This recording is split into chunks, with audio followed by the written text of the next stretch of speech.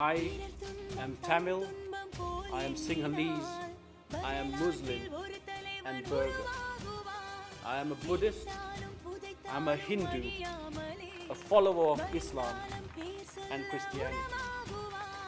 But above all, today and always, I will be proudly Sri Lankan. Thank you.